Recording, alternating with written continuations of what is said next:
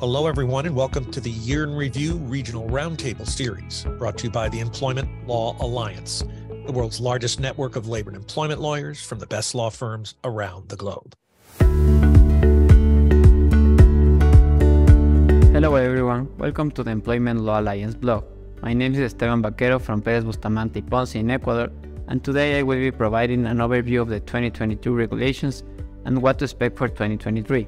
2022 was a year with fewer changes compared to 2020 or 2021. One of the major issues, however, was that the Congress tried to abolish the humanitarian aid organic law enacted during the pandemic. Specifically, the Congress wanted to dispose of the special emergent contract created under said law. The latter is relevant because this contractual figure has enabled a certain degree of flexibility that has been of huge importance for creating new jobs and strengthening the post-pandemic economy. Fortunately, this bill was vetoed by the President of Ecuador. This in turn has caused a temporary respite for employers as they can use the contractual figure at least up until mid-2023. The Congress is expected to resume their discussions in June 2023. In addition to, bear in mind that by the end of 2022, the Ministry of Employment issued some important regulations. The most significant was the one regarding remote work by creating ground rules that give the employee the right to disconnect from their job and that was basically 2022. Now I have some predictions for 2023.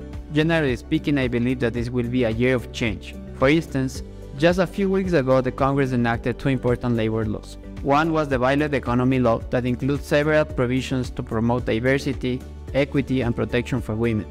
The other one was a law that aims to promote jobs for young people between ages 18 to 29.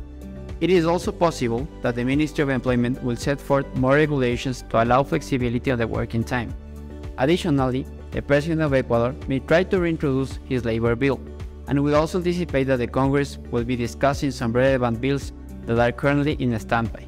For instance, they are expected to discuss the bill proposed by the working unions to amend most of the current labor code. There is also a bill regarding delivery apps that may have important effects on its users and companies themselves. Wrapping up, I expect to see more flexibility in working shifts in 2023.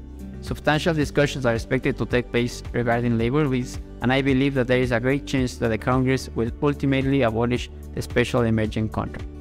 If you would like more information about this, you can find my bio in the description below. Thank you for watching our Employment Matters vlog.